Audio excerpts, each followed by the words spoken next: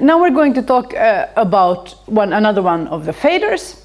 Uh, this one is called the bleed-in fader. Doesn't need to make sense. I'm going to explain it now. Okay. So, bleed is uh, a is a term that we use in LARP. I think it's good to know that it doesn't actually, it sounds like it's about blood, like I stab myself in the heart and then I bleed on the floor. Bleed is a term for, for instance, when you have um, a fabric like this and when it get wet, gets wet, the color bleeds into something else, for instance. So it's not just about blood, it's about things that are, are become messy and run into each other. So when emotions and experiences of the player, of me, travel somehow into the fiction of the LARP, and or affect the player's experience of LARP events, we call that bleed. Um, so it could be, for instance, uh, that uh, emotions that I have um, about uh, about having been bullied in school, for instance, uh, they, I bring those with me, even though my character maybe isn't anything about bullying, or maybe it is, but I bring that in, into the fiction, and then if there's a bullying situation inside the fiction, that affects my experience of that story. You see what I mean? So that story, my if somebody else had played it and they have a different background, they would experience the exact same story slightly differently, and I maybe experience it stronger, and that's why my life gives me bleed. But maybe it's also maybe I'm in, in love with Erland here, and I am he doesn't know, and I'm in in the game. Uh, I'm in love with his character my character suddenly, surprisingly falls in love with his character, then maybe my real emotions are bleeding into the fiction also, right? Or when the experiences and emotions of the LARP, like maybe we played a couple in the LARP, Erland and I, and we didn't actually even know each other, but afterwards I'm like, oh my god, that guy is the best guy in the world. So I, my fictional emotion travels out of the LARP. That's, this is pretty common, by the way. I, same advice as with the divorce yesterday. Wait two weeks and see if you still like that person, right? Uh, and, and, affect the player in positive or negative ways. That is also bleed. And the first half we call bleed in, and the second half we call bleed out. So bleed in is when the emotions and experiences of the player travel into the fiction of the LARP and or affect their experience of the LARP event. And this fader, when you make LARPs, the bleed in fader, it measures how much this happens on purpose. Because of course you can use, in a way, you can use this as a design tool when you make your LARP. If you want, if you want to, uh, you can make the LARP more relevant, personally, immediately relevant to the players by giving them characters inside the fiction that are in some way close to themselves. If you want to make a LARP where people uh, play that they're in love with people they're in love with in real life, that's probably a bad idea. But I'm going to explain now that this can be used, this, this idea can, this can be used in many different ways. And, of course, the other end of the fader is that you do the opposite. You make sure that nothing about the character is similar to the player. Okay. Um, but be, before we talk about this, I think it's good to think a little bit about what is a person, because if we need to, to play another kind of person than ourselves, it's good to think about what we are. So I have, I think I have a personality. I'm not sure that even exists, but, but I have my life and my experiences and everything I have been through for the last 37 years. All, and all of these experiences, it's very good. Gold star, thank you. So all of my experiences of my life and all of the relationships that I have had and every job I have had and everything, everything that's ever happened to me has shaped me. And all of the people that I interact with every day also shape me. I experience that I have a personality, I have a character in my real life, what I'm like. And I also have social roles. So right now I'm a teacher and I'm doing certain things and I'm speaking in a certain way but I'm also a sibling and an ex-stepmother and a friend and a professional and a customer. Do you see what I mean? So I have different roles in my daily life where my character behaves in different ways. And in role playing, often we try to portray another character, another kind of personality. So actually, maybe role playing should be called character playing. But it isn't. For historical reasons, it's called character. Uh, but I think it's good when we're thinking about this specific fader uh, to introduce these terms, and you don't need to learn this, but it's a useful thinking, thinking tool. So when we are LARPing, there are players and characters, but also in a way roles inside the fiction. So the player is the real person who, is, who goes to this LARP to participate, and the character is the fictional persona whose background and situation and relationships and, and goals uh, the player is acting through, it takes on this other character and pretends to be another person. And then that character actually also has different roles at the same time inside the fiction, not always. In a short game, maybe you're only the mother if you're playing Anderson. You don't need to know that that person is also a, a lawyer and a vampire and some other things. But it's possible in a slightly longer game that, this, that the same character is acting in these different roles, but it's still the same character, right? Uh, and when we say, this is my character for the LARP, the roles of that character are sort of included, right? But of course, well, okay, I'll, yeah. It's, uh, when we say the character, what we mean is the fictional person, all the aspects of the fictional person that I play in this LARP. So when we LARP, the player provides the body, more or less. The body of the character doesn't have to look the same as the body of the player. You may imagine, I mean, for, in, for instance, if a woman was playing the father in Anderson, you imagine perhaps what that person looked like. Right? There's another fader that says, do you have to wear a beard or can you just pretend that that person has a beard? Yeah, that's another fader. But the, the body, in some way, the body of the player is the body of the character and the inside. I, it's my heart that's beating inside this character, okay? And then we have the character, the fictional character, and that kind of gives me the psychology when I play the personality that, that uh, directs me as a player. How do I choose? How would this person act? Well, this person is shy and desperate and loyal and talkative and hungry, so probably she would do this in this situation. And then when I role play, I do that thing that seems reasonable for that character.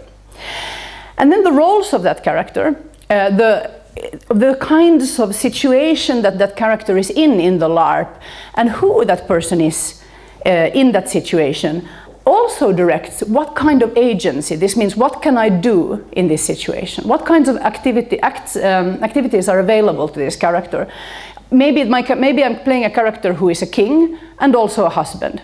And sometimes I'm speaking in my king voice and I can do almost anything. But when I'm alone with the queen and she doesn't like me, then I'm her husband, and then I am limited in some ways. And I can decide everything in the universe in this LARP except what my wife thinks of me. Or maybe I'm a peasant in this LARP and I'm the lover of the queen.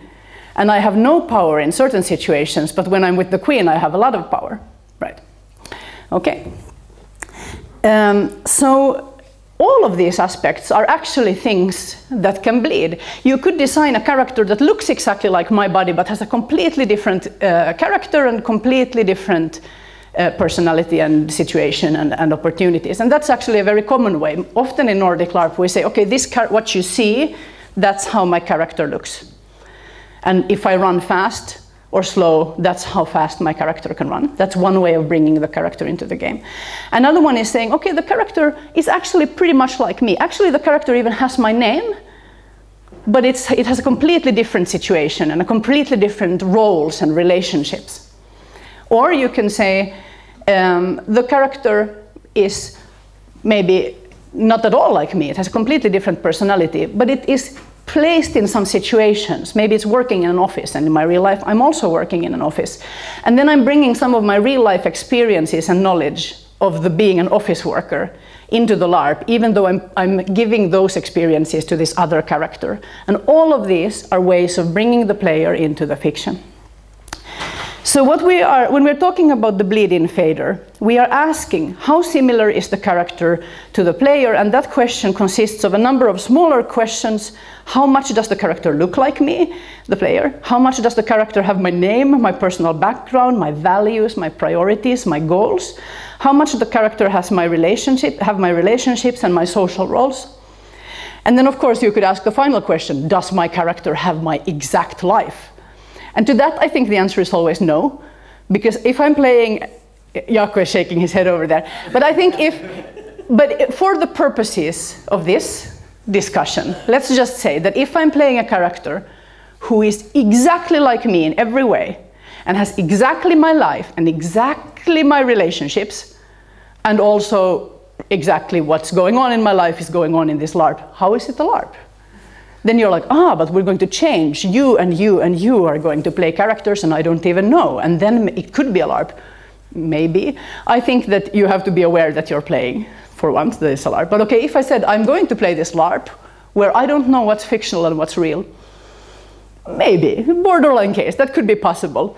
But I would argue that then actually I'm not li living my, then it's not exactly the life that I would have had without that LARP. Do you see what I mean? So then I think that actually the answer to the last question uh, is still no.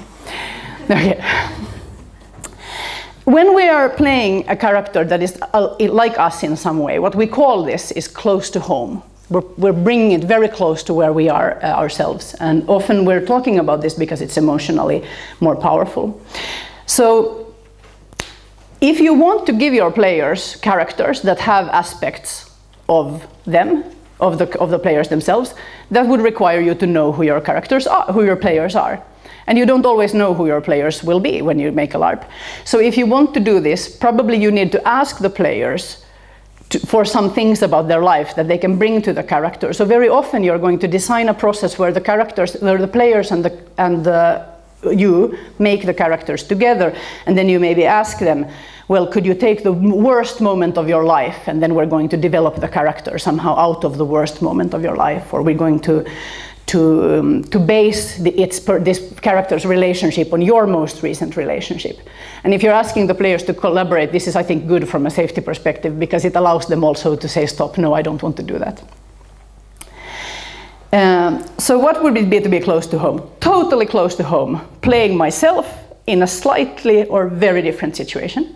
That would be very close to home, totally close to home. Very close to home, playing somebody who is very similar to me in all ways but in a LARP, in a different situation. And normally when we say playing close to home, we mean I play a character who is similar to me in some important way. Maybe this person has, I don't know, like a recent breakup, or maybe uh, the person has the same sexual orientation than me, or something like that. And that could make it very, feel very personal, even though many other things in the game are different. Uh, my body, my ethnicity, my skin tone, height, weight, shape, ability, voice, gender, and sexuality, all of these things carry meaning in my real life. And they can also have meaning in your LARP. There is a LARP, uh, that's a whole different conversation, but there is a LARP that is about bullying, where one of the rules is that the fattest male player plays the victim of, of bullying in this game.